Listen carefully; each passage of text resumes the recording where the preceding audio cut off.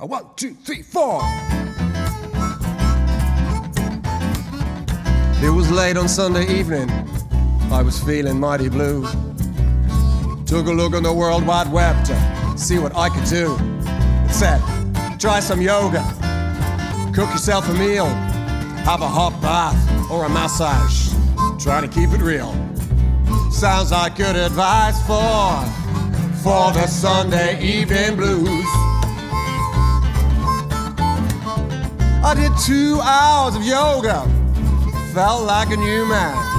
Roasted some beef with chicory leaves, and all was going to plan. Lovely massage and a bubble filled bath left me ready for my bed. No question then, I was ready to face the week ahead. That was good advice for for the Sunday evening blues. Take it down, guys. Take it down. I woke up on Monday morning, ready to smash the week.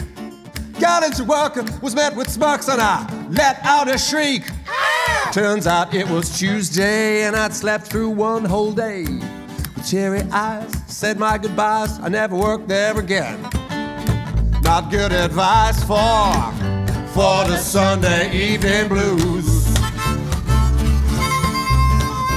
So when the weekend comes to an end and you're feeling blue, don't do everything the net suggests, just do one or two. It'll sure make you feel better, keep you inspired, and sure when Monday comes at you, don't get fired. Stay strong with advice for the Sunday evening blues.